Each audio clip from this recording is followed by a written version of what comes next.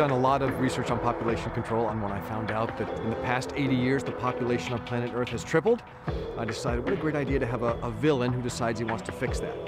Bertrand Zobrist is a genius, a billionaire genius, and he's very, very concerned about population control, and very, very outspoken. That we are destroying the very means by which life is sustained, and why? He's also deeply concerned that the World Health Organization and other organizations are doing, by his account, nothing about it, and he takes it upon himself to solve that problem in, a, in kind of a unilateral and, uh, and horrifying way. Human overpopulation is the disease. Inferno is the cure. In his mind, the way to make the difference is to cull the Earth's population by half. And that is what Langdon is thrust into, and it's pretty chilling. He created a play. The Dan Brown ideas are so forward thinking. They're controversies that are not going to go away.